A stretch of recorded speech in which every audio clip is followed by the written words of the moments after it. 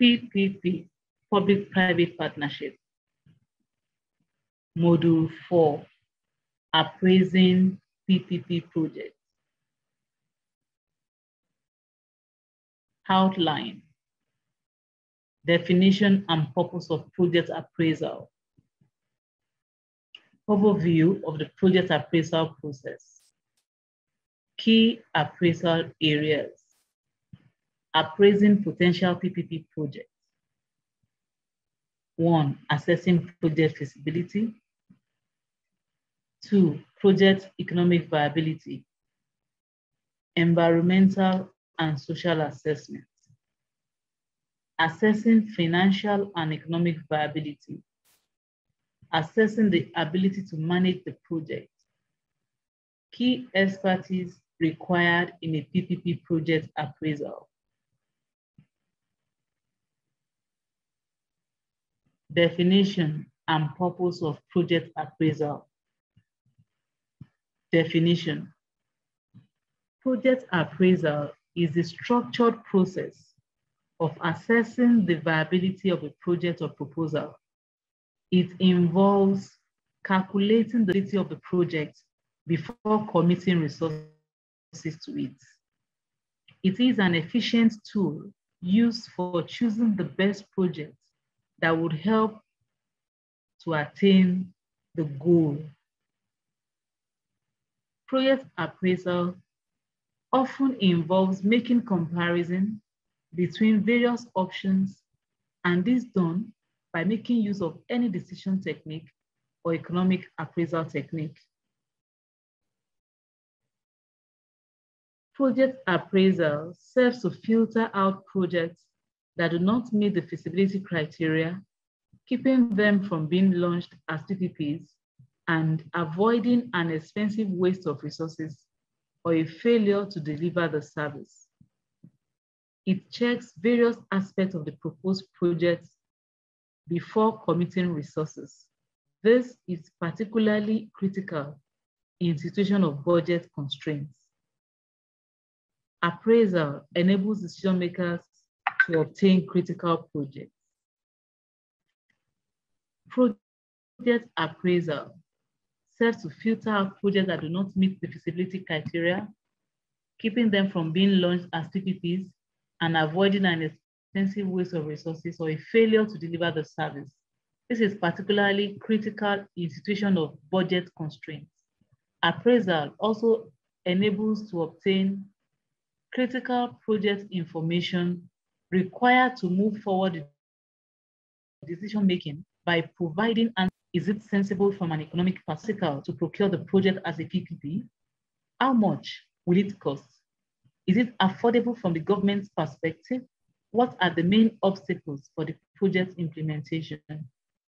Can they be overcome in a cost-effective manner? How? Overview of the project appraisal process.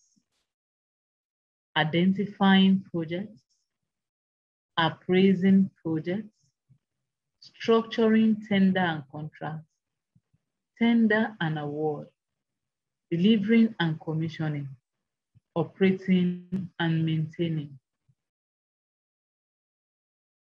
Under appraising projects, a typical project appraisal the project appraisal process. A typical project appraisal process involves a multiple steps. Step one, project contract is pre-structured. Pre-structuring a contract can take different twists based on the technical dynamics of the sector considered or the regulatory dynamics of the government. Step two, technical requirements are designed, that is, providing adequate technical details about a project allows for a precise definition of the infrastructure design or service characteristics to be implemented, whilst avoiding being too prescriptive. Step three, financial models are developed this entails estimating the risk-adjusted costs of the outputs from the technical requirement design alongside expected risk value.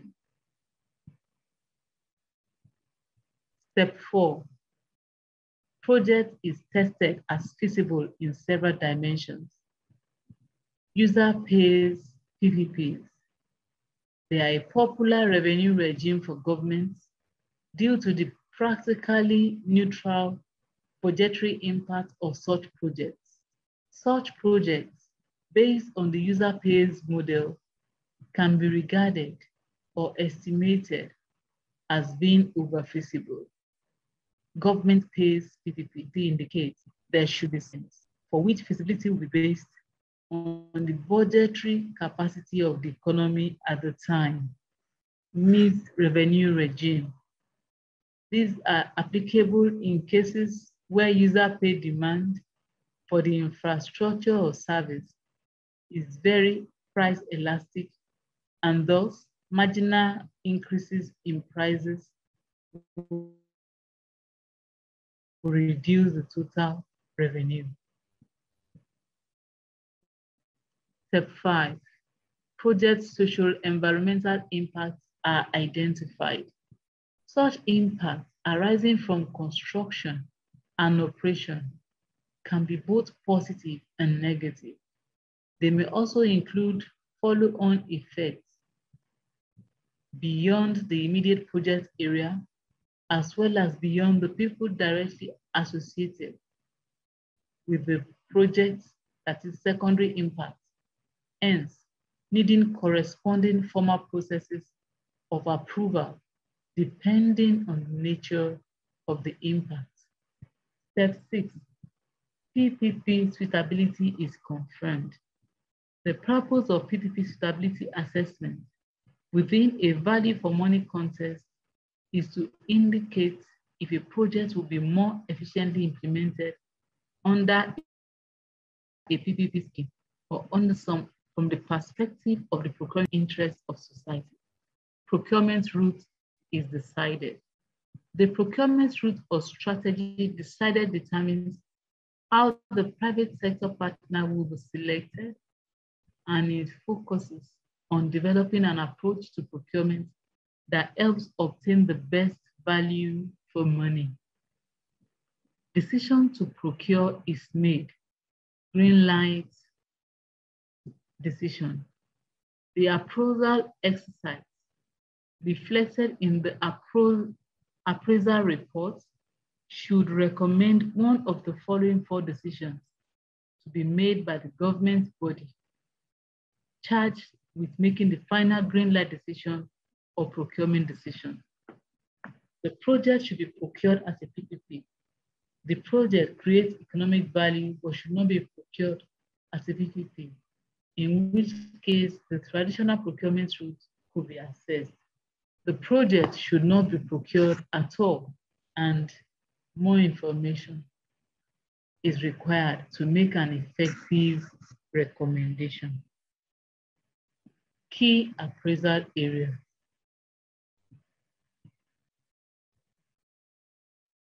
Economic feasibility, we are under economic feasibility, we have commercial feasibility. Private sector cash flows for the project under PPP delivery are assessed. Fiscal, public sector cash flows for the project under PPP delivery are assessed. Impact on government debt. Impact of the project as a PPP under the applicable public sector accounting regulations are assessed. Value for money, VFM. Public sector or user. Cash flows for the project under PPP delivery in comparison to public sector or user.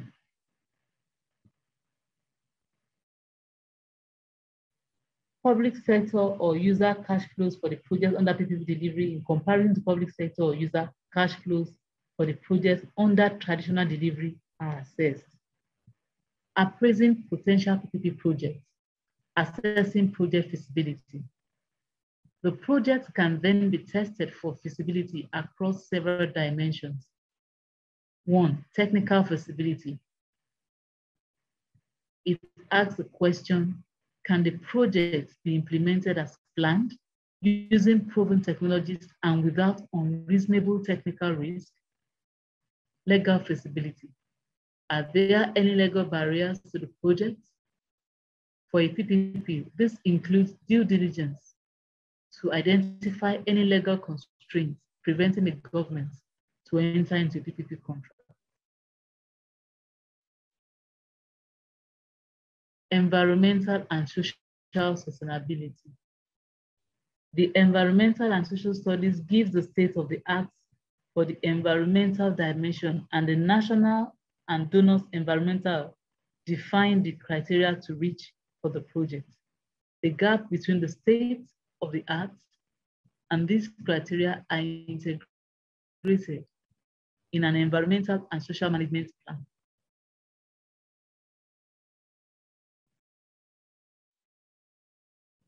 Project economic viability. Many governments undertake some form of economic viability analysis, also known as socio-economic viability, to decide whether a proposed project is a good use of public resources. A project is economically viable if the economic benefits of the project exceed its economic costs when analyzed for society as a whole. The economic costs of the project are not the same as its financial costs. The external, externalities, positive or negative, are economic impacts that affect persons who are not necessarily part of the project of the project scope. The economic benefits are a measure of the value the project will deliver to society as a whole.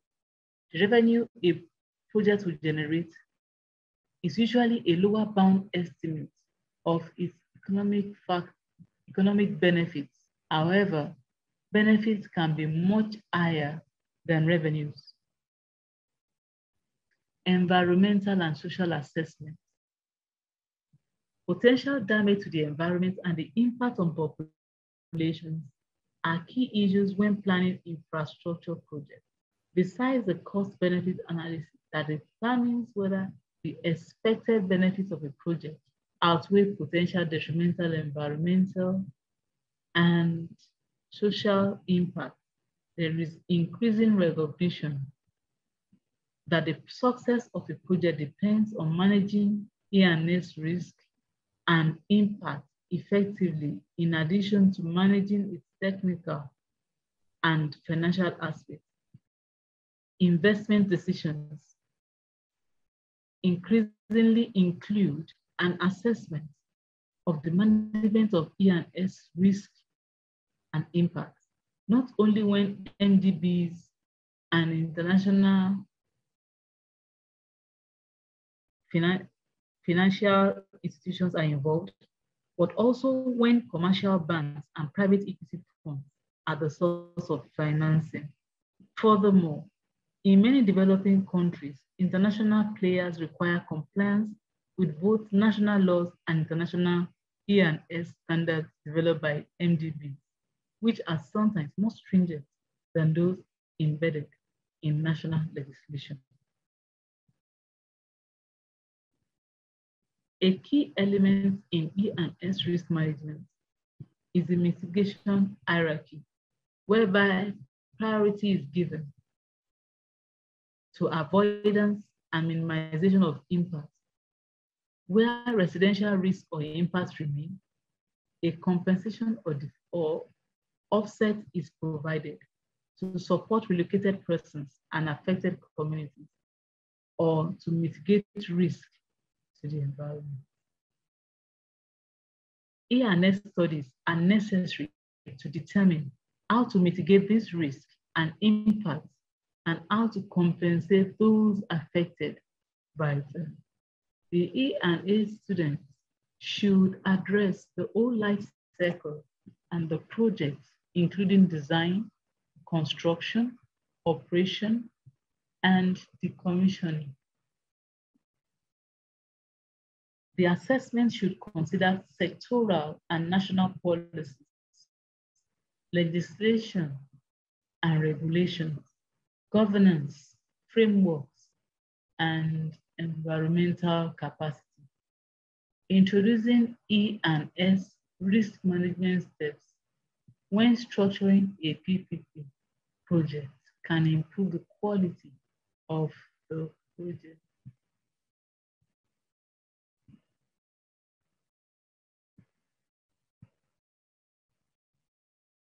Assessing financial and economic viability. The financial study is an important phase between, before starting your project, and it must decide on its profitability and on the possibility of financing it. Therefore, evaluate the estimated cost of the project, identify the financial risk of the project, develop its financing plan, analyze its financial balance, evaluate its profitability, identify sources of funding, both internal or external. A financial model is set to give all the financial projections with both cases and sensitivity tests to assess the robustness of the model.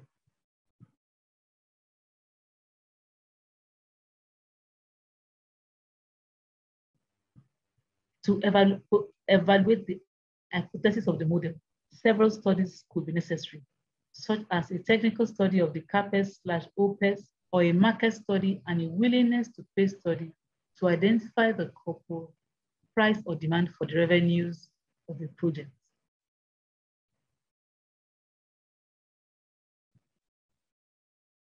Assessing financial and economic viability. A project can be economically viable without being financially viable. In the context of PPPs, the economic and financial evaluation of the project allows decision makers to decide on the need or not to launch the project. For example, some, sec some sectors such as education and health have high economic value, but may not necessarily be financially profitable. The economic profitability criteria of the project can be linked to their nipple, to their ripple effect compared to other productive sectors of the economy. A scoring grid can thus be set up to assess the economic profitability of projects. This rating grid thus enables a state to decide to finance a project which is not financially viable in relation to the expected economic profitability. To fill, to fill the gap, the state may have to subsidize the initial investment of the project or the operational income linked to the operation of the project. A key objective of government in PPPs is to achieve value for money, VFM. Value for money means achieving the optimal combination of benefits and cost in delivering services. Many PPP programs require an assessment of whether a PPP is likely to offer better value for the public than traditional public procurements, often called value for money analysis. A VFM analysis can be done for a specific PPP project and at a program level for projects with common characteristics. VFM analysis typically involves a combination of qualitative and quantitative approaches. Qualitative VFM analysis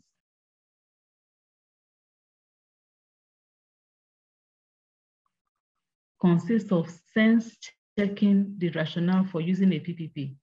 This involves asking whether a proposed project is of a type likely to be suitable for private financing and whether the conditions are in place for the PPP to achieve value for money.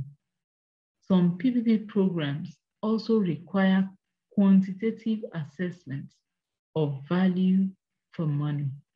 This typically involves comparing the chosen PPP option against a public sector comparator. What that is, what the project cost would look like if delivered through traditional procurement. This comparison can be made in different ways.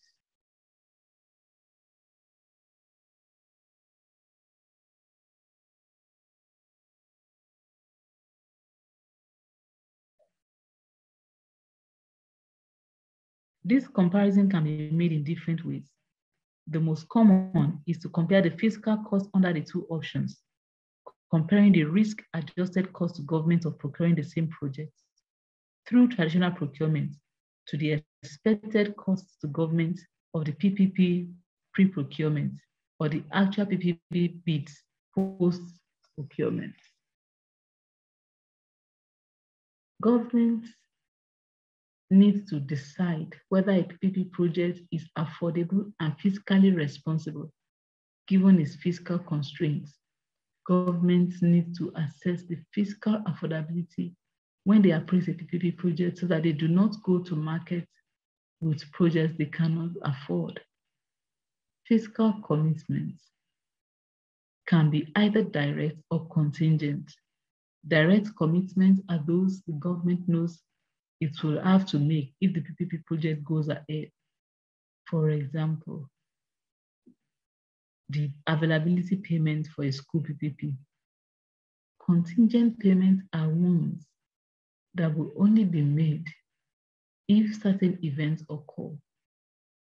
For example, payments that may have to be made under a minimum traffic guarantee if traffic levels are below projections and a PPP highway or compensation in the event of early termination.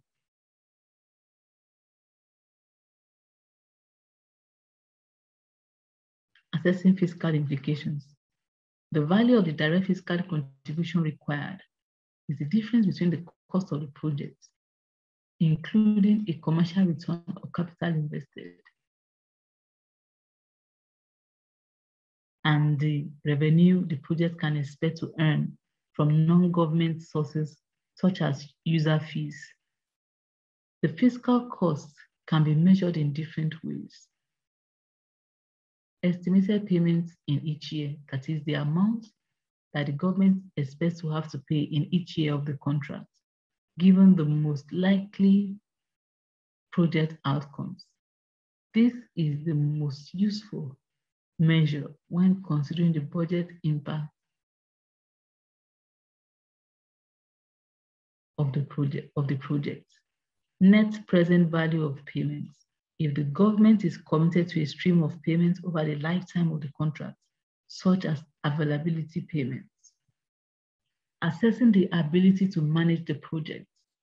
A less common but still highly relevant component of project assessment focuses on the ability of the procuring authority to manage the delivery of the project, that is, project preparation, tendering, and contract management over the term of the PPP contract. This contract, this requires an appraisal of the current capacity of the procuring authority, including its leadership, and the identification of future needs for gap analysis. The exercise should lead to the formulation of a credible plan, drawing upon the resources of other government agencies and including the cost of hiring external experts and transaction advisors and of strengthening the leadership of the project team assessing the ability to manage the project. This assessment of the procuring authority should demonstrate that the project is appropriately resourced and that appropriate governance arrangements are in place. the project should have gone through a detailed planning exercise with a realistic timetable. Advisors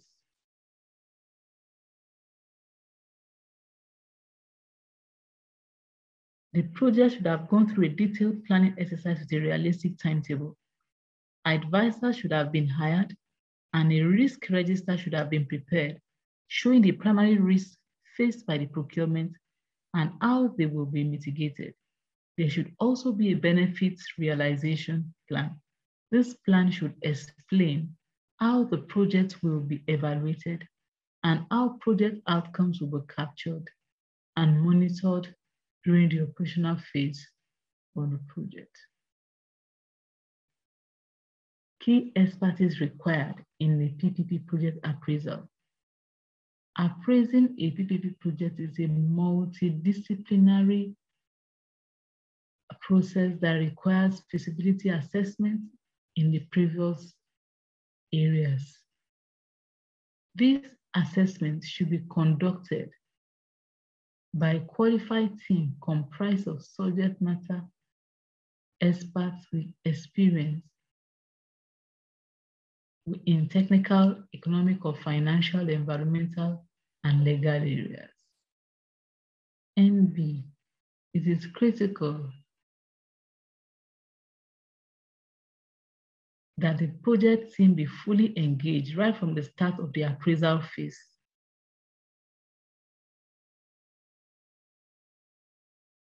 PPP pilot project assessment criteria sample prepared as part of the twinning project. This is sample PPP appraisal reports that can be accessed at the link below. Questions? Thank you. Participants are encouraged to kindly post their questions, comments, and contributions on the dedicated course discussion board. Thank you.